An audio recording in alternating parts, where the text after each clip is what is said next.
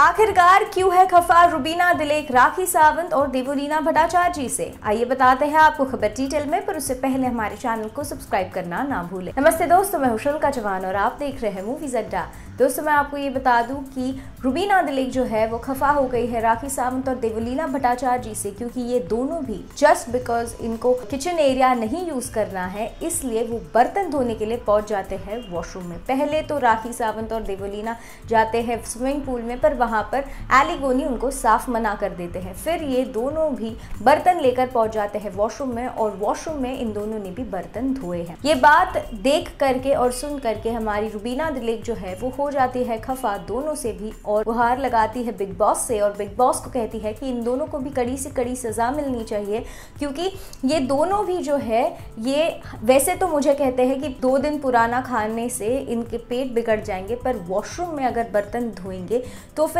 ये तो बहुत ही गंदी बात है, क्योंकि वॉशरूम में लोग हाथ धोते हैं, पैर धोते हैं कभी कभी अपना नाक भी साफ़ करते हैं। तो ये बहुत ही अनहाइजेनिक है और इसलिए हमारी जो रुबीना दिलेक है, उनको ऐसा लगता है कि देवोलीना और राखी को मिलनी चाहिए कड़ी से कड़ी सजा। आपको क्या कहना है इस बारे में, बताइए हमें in the comments below we are waiting to hear you मैं हुशूर का जवान और आप देख रहे हैं मूवी सेक्टर